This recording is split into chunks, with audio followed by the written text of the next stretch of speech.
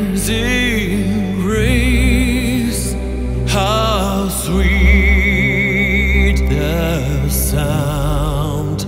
And